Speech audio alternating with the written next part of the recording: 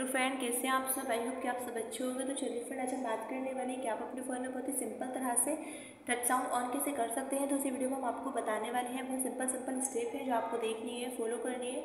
आइए video start करते हैं। आप अपने फ़ोन में टच साउंड ऑन करने के लिए सबसे पहले अपने फ़ोन की सेटिंग को ऑन करेंगे। सेटिंग ऑन करने के बाद में यहाँ से आपको काफ़ी सारे ऑप्शन देखने को मिल जाते हैं, जिसमें से यहाँ से आपको एक ऑप्शन देखने को मिल जाता है साउंड का।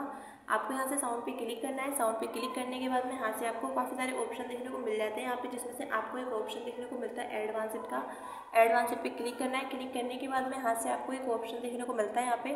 टच साउंड का आपको टच साउंड पे क्लिक करना है। क्लिक करने के बाद में यहाँ से आपके फ़ोन में टच साउंड ऑन हो चुका है तो बहुत ही सिंपल है। इसी के अकॉर्डिंग आप अपने फ़ोन में टच साउंड ऑन कर सकते हैं। आई होप कि आपको वीडियो अच्छी लगे। वीडियो अच्छी लगे तो वीडियो को लाइक करें शेयर करें। चैनल पर नए हो तो चैनल को सब्सक्राइब करें।